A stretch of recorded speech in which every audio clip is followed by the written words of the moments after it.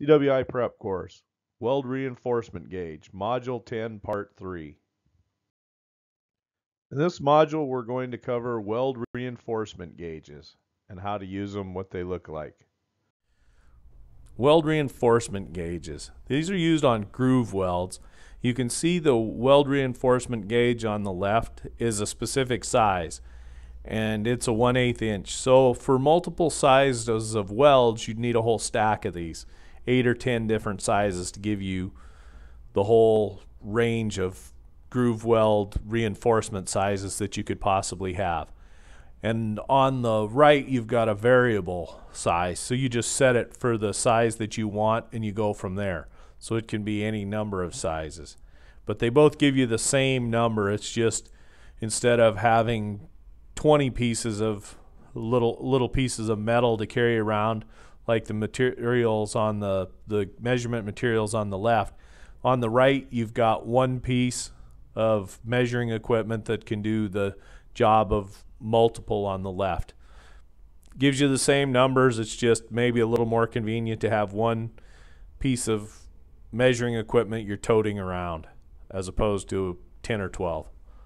Same numbers though. Here's another slide showing the weld reinforcement gauge and we're going to measure the reinforcement of a weld. That's our mission. So you can, this is a rehash. That's what reinforcement is on a groove weld. It's just the amount of um, excessive filler material that protrudes above the surface of the base metal of the original surface. So we're going to measure that. That's our mission. So on this one, what you do is you set the pointer, that's that middle thing, you undo a set screw and you set the pointer so that it's at the height that you are checking, the height that you're measuring. So in this case, we'll just throw out a magic number, 3 16ths of an inch. You undo the set screw, you slide it up, tighten it in so that the pointer is set at 3 16ths of an inch, and you're good to go ready to start measuring reinforcement on groove welds. So you get out there and you start measuring your reinforcement.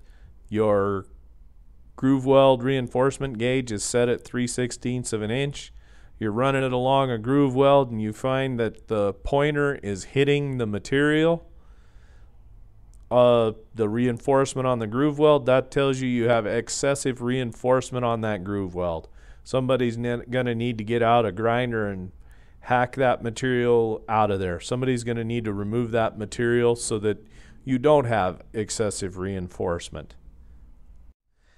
Once again, we've got our pointer set at 3 16ths of an inch and you're going along your groove weld and nothing's hitting. The pointer is not hitting the groove weld and you've got reinforcement that's above the surface of the base metal. So you've got some reinforcement and it's sufficient, but it is not excessive reinforcement. Things are good in this situation. Underfill, lack of reinforcement. Let's say we're out there and we're looking at the weld and we notice that there's not enough material to even reach up to the um, surface of the base metal. So we're going to call this underfill, which is lack of reinforcement.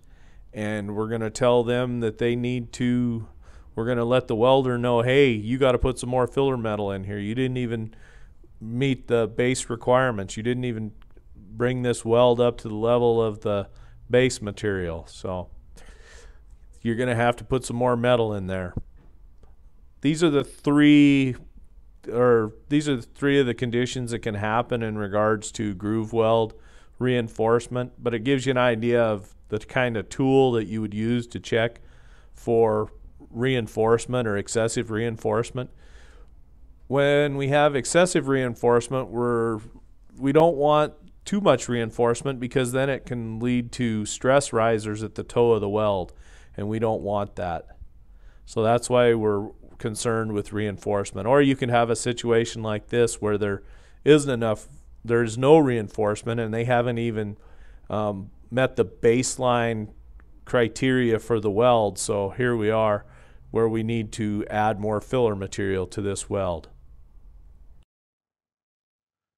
Summary. In this module we touched base on weld reinforcement gauges, how they're utilized and how to read them.